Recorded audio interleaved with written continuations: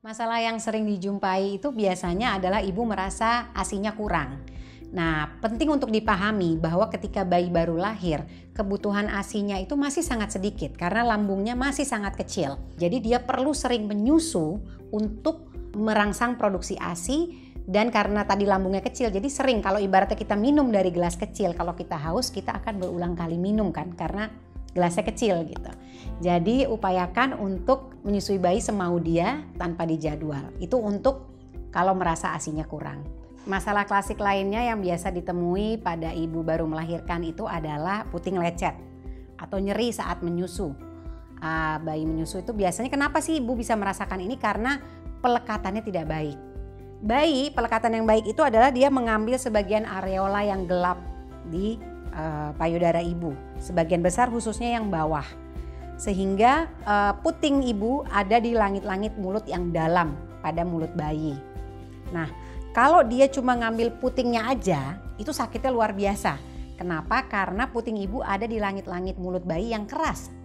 Ya, di atas. Itu yang menyebabkan puting menjadi lecet dan nyeri.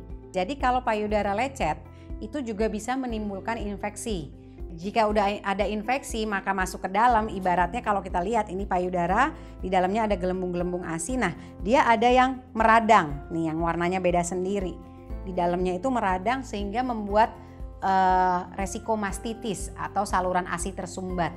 Karena ada mulai dari infeksi tadi ibunya demam nah itu masalah-masalah yang sering ditimbulkan uh, ketika ada uh, pelekatan yang tidak baik atau tidak pengeluaran ASI tidak optimal sehingga sering penuh, sering bengkak payudaranya itu juga bisa meningkatkan resiko saluran ASI tersumbat.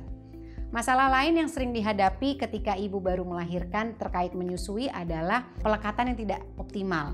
Pelekatan yang tidak optimal menyebabkan uh, pengosongan payudara juga tidak bagus sehingga produksi ASI tidak memenuhi kebutuhan anak ibunya berpersepsi asinya tidak baik, asinya kurang, padahal sebenarnya posisi pelekatannya ada yang bermasalah.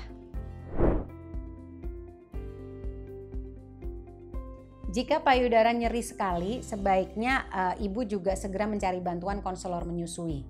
Karena uh, nyeri itu tanda ada pelekatan yang tidak baik. Jika ibu rutin menggunakan pompa, hentikan menggunakan pompa, perah dengan tangan jika perlu atau jika payudara terasa penuh. Boleh dioleskan ASI uh, sebelum menyusui dioleskan ASI dan selesai menyusui oleskan lagi ASI ke area yang nyeri atau ada yang luka. Jika perlu ada salep khusus atau pakai minyak kelapa itu juga boleh diberikan di areolanya di area-area yang terluka. Jika payudara terasa penuh uh, atau tidak nyaman juga bisa menggunakan kompres hangat. Kompres air hangat ini juga membantu mengaliri ASI yang jika terasa uh, ada aliran-aliran yang tersumbat atau juga ada yang nyeri, ini akan sangat membantu. Jangan menghentikan proses menyusui uh, karena dikhawatirkan kalau kita menghentikan proses menyusui maka produksi ASI kita juga akan uh, terhambat dan ini membuat payudara semakin bengkak.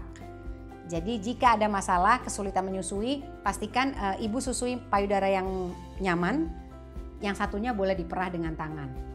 Kalau misalkan sudah terasa sakitnya kurang, boleh kembali disusui, tapi jangan menghentikan proses menyusui.